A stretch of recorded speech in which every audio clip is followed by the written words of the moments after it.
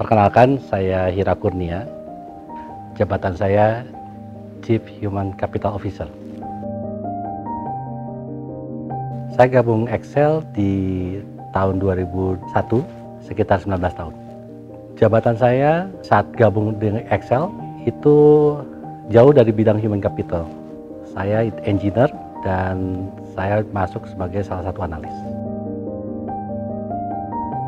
Human capital adalah salah satu fungsi di organisasi yang akan menjadi relevan apabila fungsi ini bisa mensupport bisnis, bisa mensupport corporate. Untuk tim yang ada dalam human capital cukup efektif untuk bikin deliverable-nya human capital itu bisa serve bisnis kita. Bidang human capital itu adalah bidang di mana kita believe bahwa itu sebagai leading indicators. Kita perlu waktu untuk mendevelop seseorang, untuk membuat orang siap terhadap satu bisnis tertentu. Hanya ternyata kebutuhan bisnis hari ini jauh lebih cepat daripada proses human capital.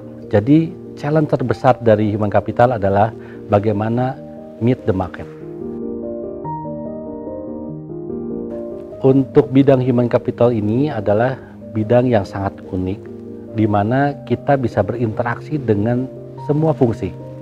Semua fungsi di perusahaan ini perlu area human capital. Kalau kita bisa bukan hanya membantu tapi mempelajari fungsi-fungsi itu, kita mempunyai pengalaman, pengetahuan, dan juga mungkin bisa mengasah kemampuan di area-area lainnya. Sehingga itu bisa dimanfaatkan untuk bisa lebih broaden dalam eh, membantu organisasi di bidang mana pun. Bekerja itu harus memenuhi dua hal. Pertama, mendapatkan kepercayaan. Kedua, bisa memberikan kontribusi. Dalam bekerja itu kita harus punya dua hal itu.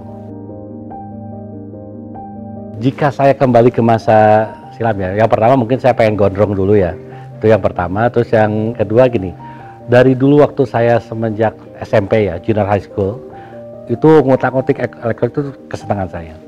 Jadi dari dulu pengennya masuk masuk elektro telekomunikasi. Jadi pada saat saya harus mengulang kembali ya mungkin gini lagi ketemu lagi nanti interview lagi kayak begini